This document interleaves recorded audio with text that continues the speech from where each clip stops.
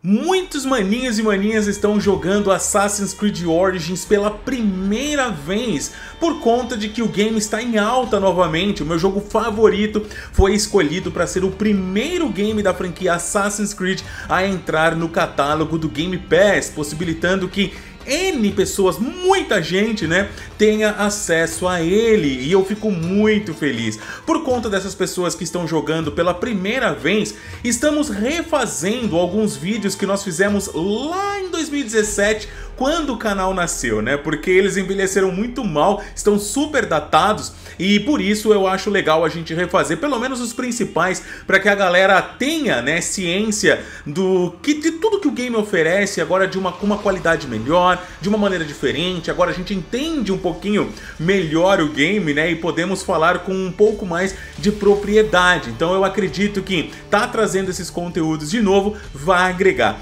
Nesse vídeo em questão, eu vou estar tá fazendo um comece bem, né? Mostrando para vocês as principais mecânicas do game, o que é interessante, o que eu acho interessante fazer logo de início para se dar bem, né? E se você está começando agora, eu tenho certeza que esse vídeo vai te ajudar em algum ponto.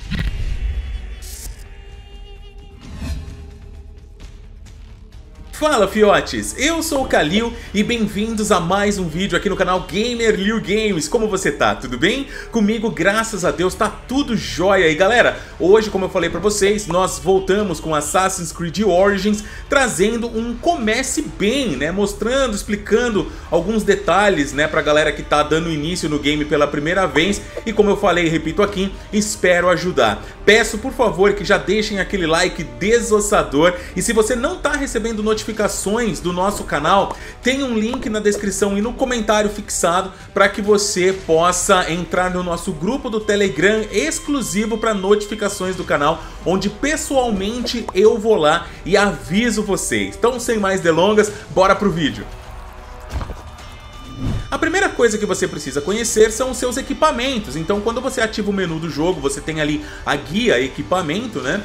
E nela você tem acesso às suas montarias, o seu conjunto de traje, seus escudos, né? Suas armas também, corpo a corpo. E como você pode ver, aqui embaixo, do lado direito e do lado esquerdo do personagem, você tem duas opções de criação. Assim como em todo RPG, Origins, você também vai precisar coletar itens para para melhorar né, os seus equipamentos, melhorar suas munições e assim por diante, tá? Você começa com o seu personagem da maneira que você tá vendo, né, aqui ó, o Bike, simplesão, e nesse game, cada vez que você melhora um dos itens aqui abaixo, né, um desses seis itens, a aparência deles também vai mudar, tornando o seu Bayek mais bonitão.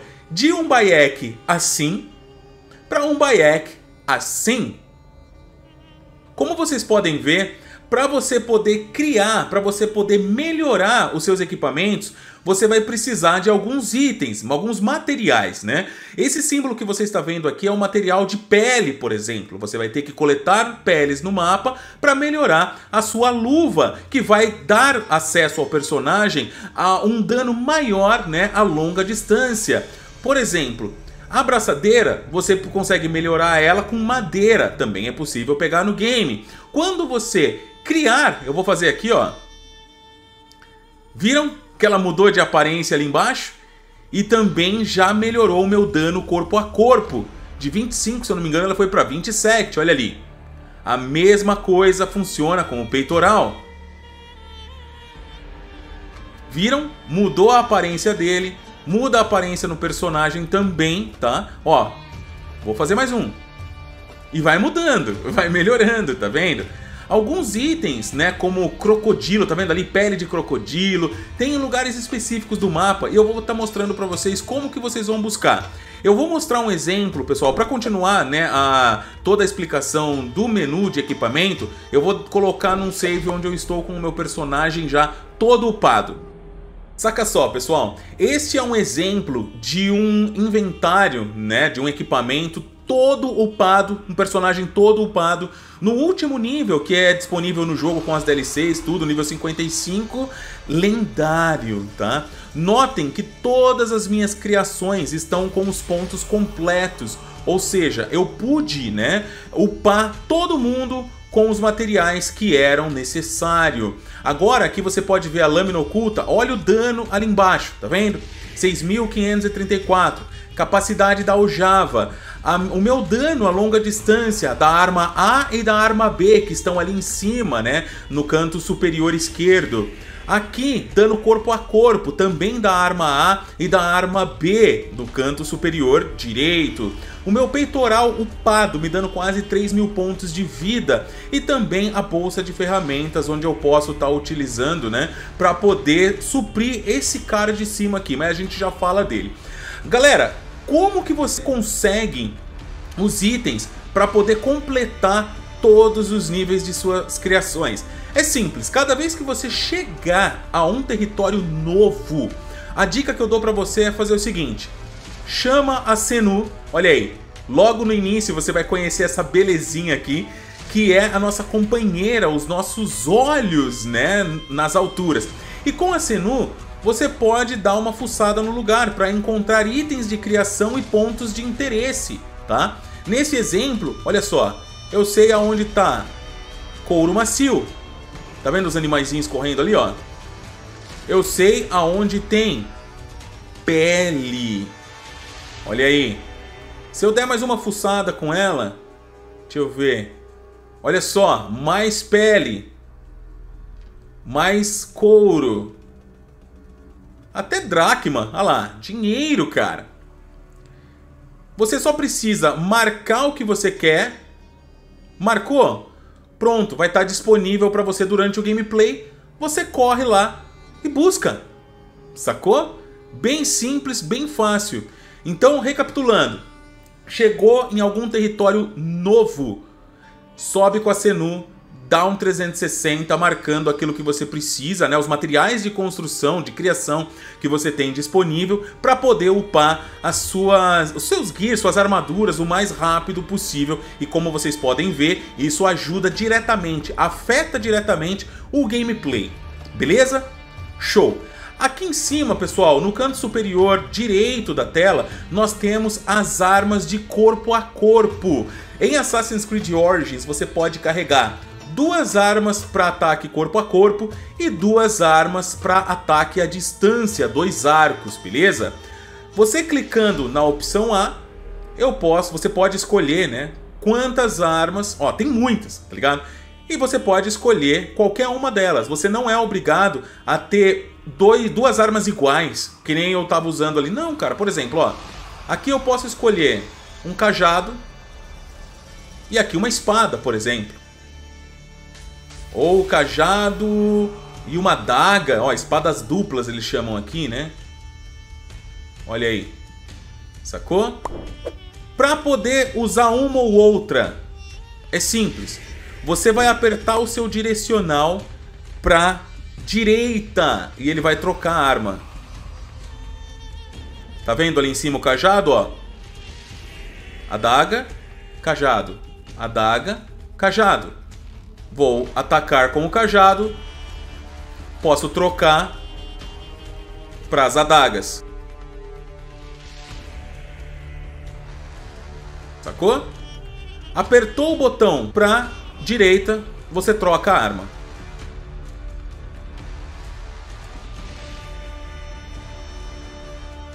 Apertei para a direita de novo. Adaga.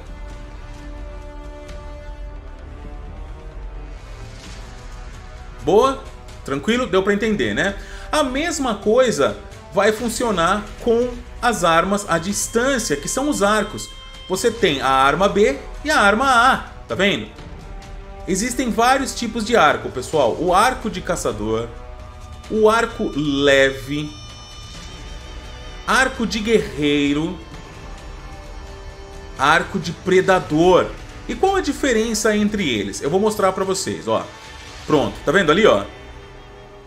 Ó. Se eu apertar para esquerda, eu troco meu arco. E aquela hora eu não estava apertando para direita, é onde eu troco a arma.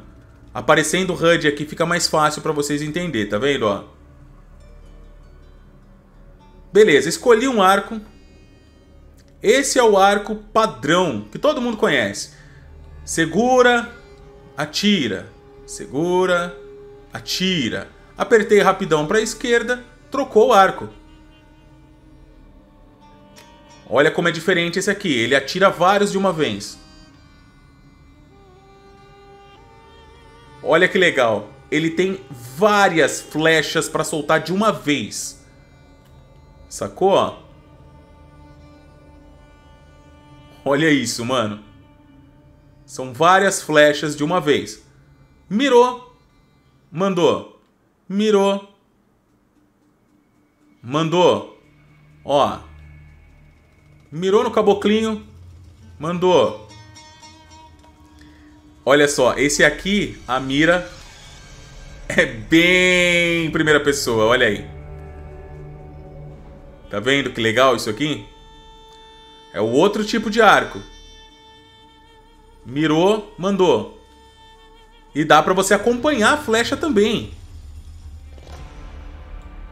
Vale ressaltar, pessoal, que para você liberar um slot adicional tanto de arma melee, né, quanto arma à distância, né, outro arco, tal, você vai depender de habilidades que existem ali na guia habilidades. Uma delas é a portador de armas, que apertando para a direita, como eu mostrei para vocês, vocês podem escolher uma nova arma melee. E também você tem aqui a opção portador de arco, que apertando para esquerda, você escolhe o segundo arco que você colocou no slot liberado. Só libera novo slot quando você tem essas duas. Já sabemos os tipos de armas à distância. Vou mostrar rapidinho aqui, ó, Espada comum, agora a, as armas né, de corpo a corpo. Espada comum, espada foices, são bem legais. As adagas, que é chamadas aqui de espada dupla. As contundentes pesadas, galera, isso aqui é brabo, mano. Isso aqui é muito brabo.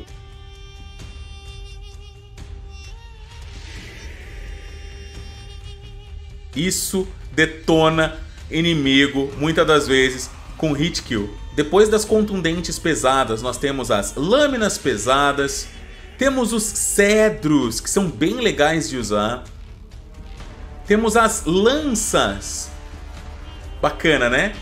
E eu posso ficar sem arma também, caso eu queira lutar, né, só nas mãos, não aconselho. Bom, escudos, você tem diversos escudos para poder pegar. E escudo é algo muito importante nesse jogo. Acaba sendo obrigatório para proteção. Sem ele, você vai ter que depender da sua esquiva, tá?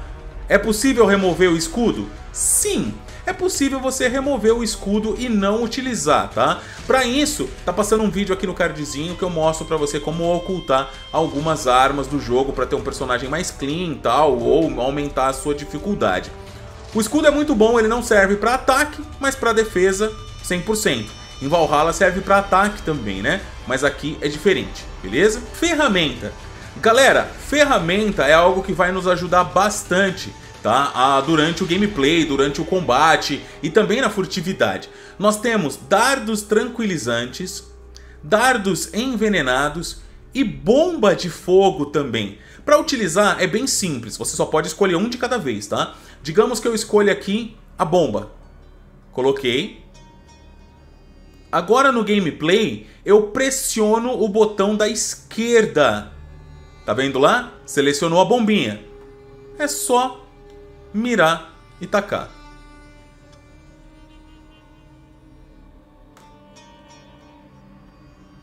Sacou? Vou trocar.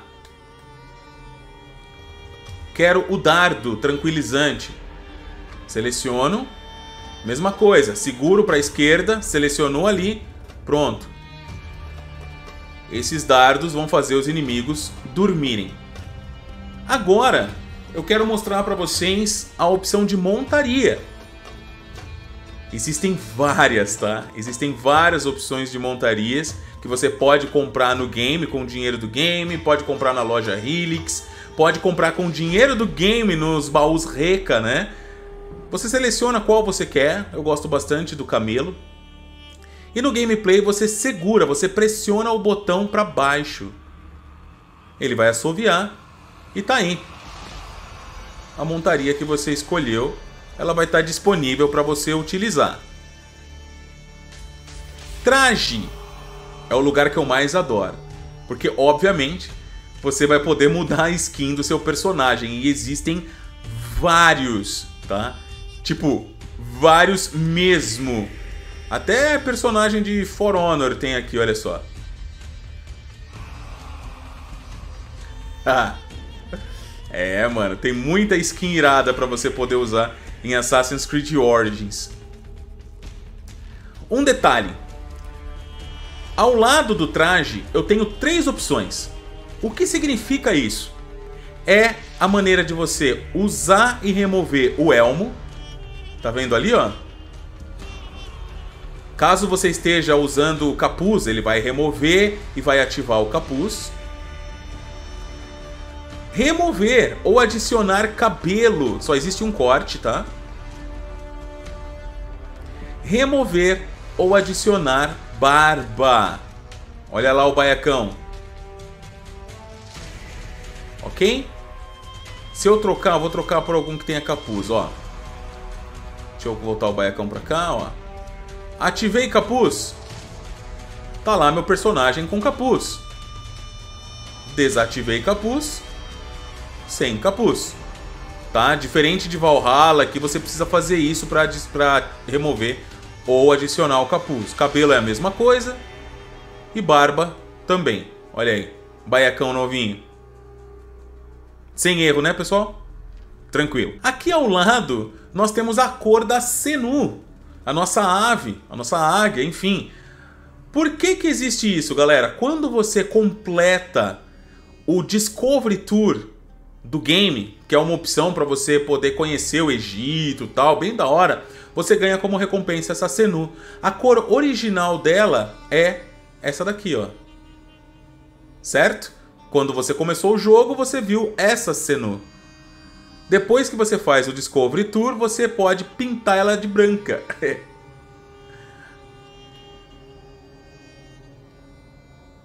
Olha aí.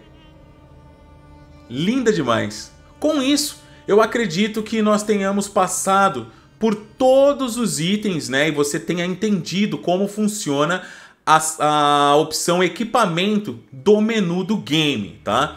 Detalhe, quando você começar o jogo, o que eu indico você fazer logo de cara, de cara?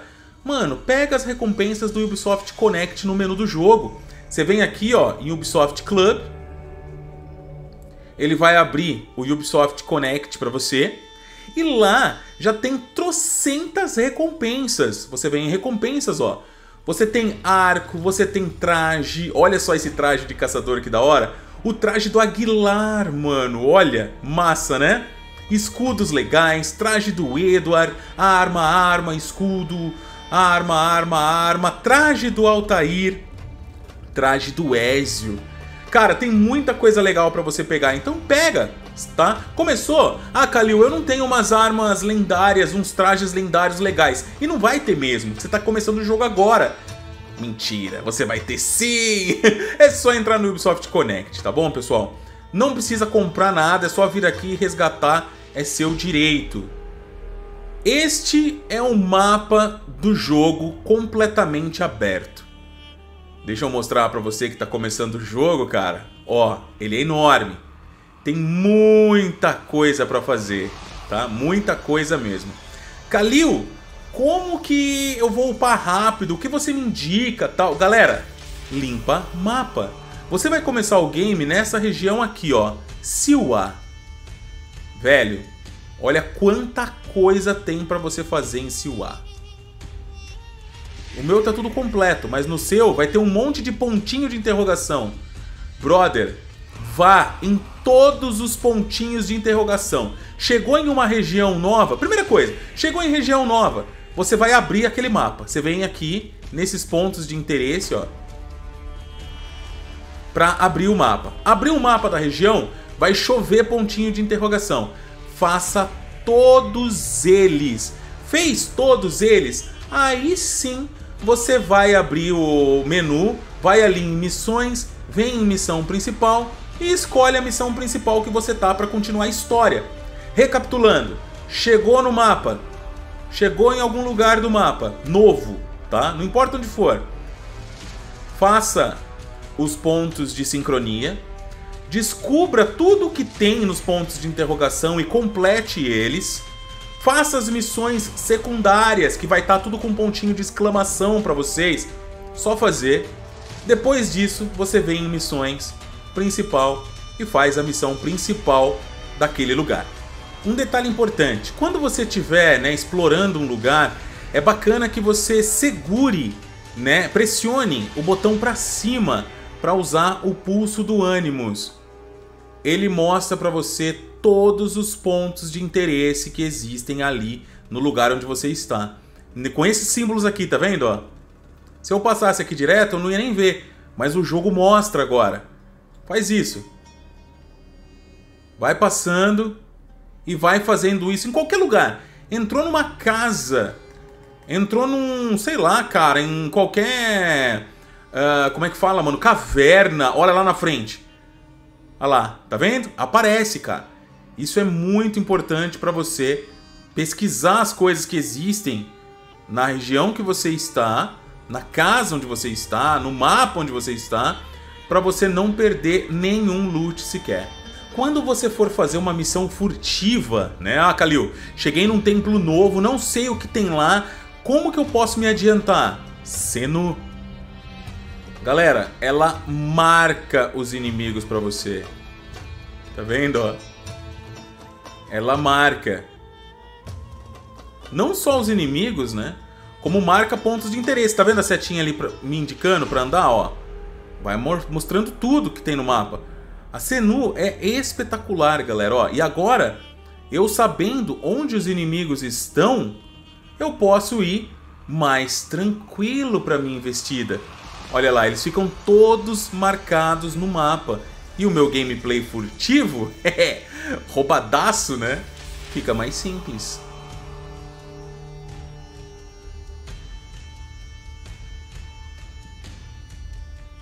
Uma coisa que pouca gente sabe é que você pode usar o mapa ao seu favor, galera. Alguns elementos do mapa ao seu favor. Muitas das vezes que você entrar em um acampamento, não é necessário você sair rambando tal, ou mesmo perder tempo, né? Com furtividade, indo até cada um dos inimigos tal. Tá vendo aqui, ó? Nós temos duas fogueiras, né? Não temos inimigos tão próximos dela, mas você vai encontrar lugares como esse, onde está lotado de inimigos dormindo, ou até mesmo, né, conversando em volta delas em pé ou sentados. Pra que que você vai lá lutar contra cada um deles se você pode simplesmente fazer o seguinte, cara, ó. Aqui no menu você vai escolher o dardo tranquilizante e você vai tacar esse dardo aonde? Aqui, ó, na fogueira. Tá vendo que levanta uma poeira? Tudo isso que levanta, se tiver inimigo por perto, eles vão dormir. Ah lá, tá vendo, ó? é que nesse caso em específico, os inimigos eles estão bem longe. Mas se eles estivessem próximos, toda essa área em que a sombra pegou iriam fazê-los dormir. Então, olha lá, dormiu um lá, ó, tá vendo, ó? Olha lá, capotou. E aí, galera, você só precisa chegar até eles e assassinar, meu. Em qualquer fogueira isso funciona. Dormiu, tá vendo? Galera dormiu? Vai lá e mata. Um. Dois. Três. Massa, né? Pessoal, tudo nesse jogo se resume a uso de dracma, tá? Tudo que você for comprar, melhorar, tudo você vai usar dracma. Se você precisar melhorar uma arma, você vai usar dracma. Se você precisar comprar itens novos, armas novas, dracma também. Então é óbvio que você logo vai procurar por alguma coisa no game que te ajude, né, a ter uma quantidade significativa de dracmas. Galera, dá uma olhada nesse vídeo que tá passando aqui no card, ó, que nós fizemos recentemente, e nele eu mostro como você conseguir uma quantidade absurda de dracma, comprar tudo no jogo, upar todas as armas do jogo, inclusive, né, como o próprio título dele fala do vídeo, você pode comprar as armas pagas do game, onde você gasta dinheirinho de verdade, gratuitamente. Só com dracmas do game. É possível, comprovado há meses, há anos, tá funcionando ainda e nesse vídeo eu explico certinho. Então, Vou deixar o link na descrição também para você, caso tenha deixado passar, né? E você vai lá, dá uma olhada, depois comenta comigo se funcionou.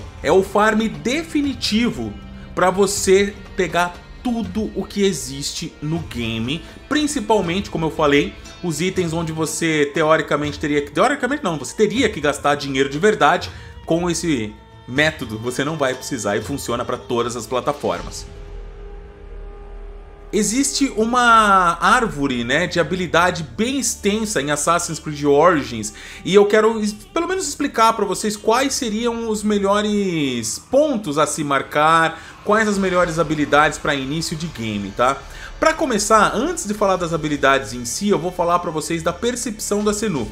Lembra que eu falei para vocês que cada vez que vocês chegarem em uma área, a primeira coisa que você tem que fazer é ir para os pontos de sincronia?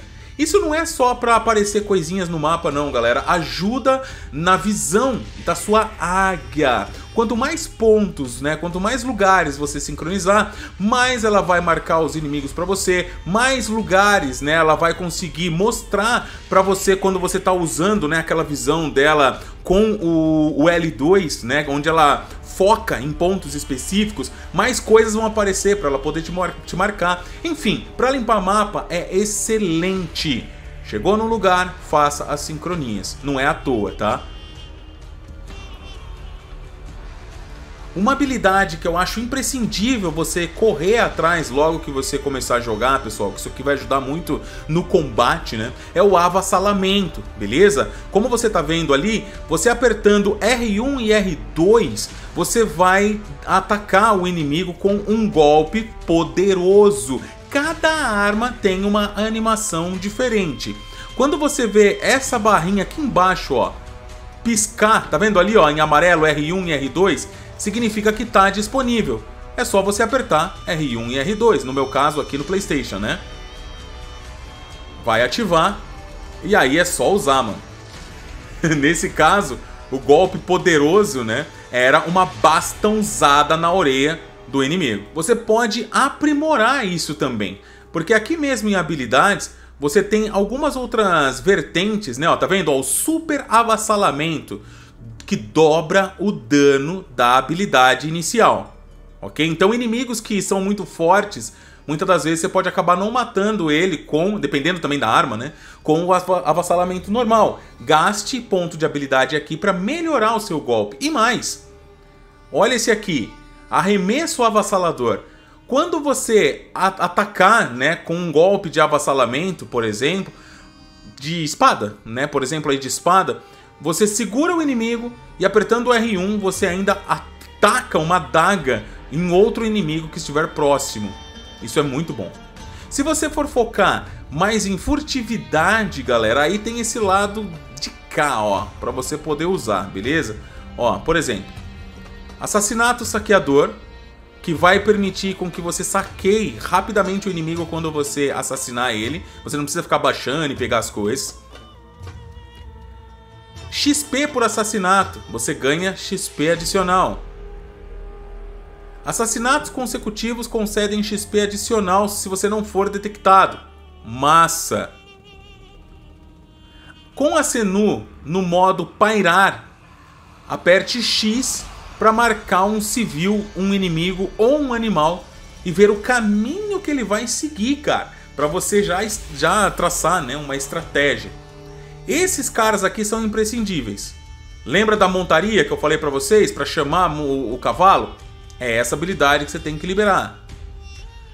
Esse aqui, alvorecer e anoitecer, é muito importante, porque vai permitir com que você altere os horários durante o game. E existem missões que são feitas só de dia, missões que são feitas só de noite. Você pode chegar num local, né, num forte, por exemplo, de dia, ele está totalmente movimentado. Você muda ali, né? Usa o alvorecer e o anoitecer pra para anoitecer, no caso, né? E aí eles vão estar tá dormindo, por exemplo, facilita a sua entrada naquele forte, então é bem legal. Você lembra do dardo tranquilizante? É aqui que você tem que liberar, irmão, tá? Para aparecer a opçãozinha lá no menu, né, da, dos equipamentos, para você poder usar. Velho, essa é muito importante, se chama regeneração. Quando, enquanto você estiver lutando, né, enquanto você estiver em combate ali, a sua vida, depois que você habilitar isso, ela vai regenerando pouco a pouco.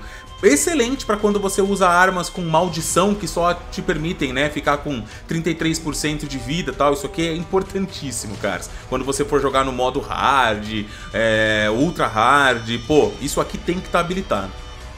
Existem diversas, galera, diversas. Eu não vou passar por todas, tá? Mostrei aqui as que eu acho mais interessantes para início, mas dá uma espiada depois. Com certeza você vai achar uma ou outra que eu não falei aqui que você vai olhar e falar: "Hum, cara, isso aqui é legal, pro meu estilo de gameplay funciona". Então, só vai. Pessoal, isso que eu falei aqui, tudo isso que eu falei é o básico do básico do básico, tá? Para quem tá começando o game, se dar bem ou no mínimo não ficar perdido logo de início, tá bom? Seguir, é, segue, né, com essas dicas que eu passei para vocês, de chegar num lugar, limpar o mapa, fazer, né, a sincronia, depois os pontos de interesse, farma com o vídeo que eu mostrei também. Velho, eu tenho certeza que o seu gameplay vai ser delicioso. Assassin's Creed Origins é de longe para mim o melhor jogo da franquia em diversos aspectos e de coração, eu espero torço para que você tenha a mesma experiência maravilhosa que eu tive com esse game, tá? Comenta no vídeo se foi interessante, se é importante, o que você achou, se te ajudou. Eu vou ficar muito feliz em saber, tá bom? Um forte abraço, tudo de bom, fiquem com Deus. Até o próximo vídeo, se Deus quiser. E amanhã tem mais vídeos sobre Origins. Galera, vai lotar de Origins aqui, vocês vão enjoar. Valeu, gente, até mais. Tchau, tchau.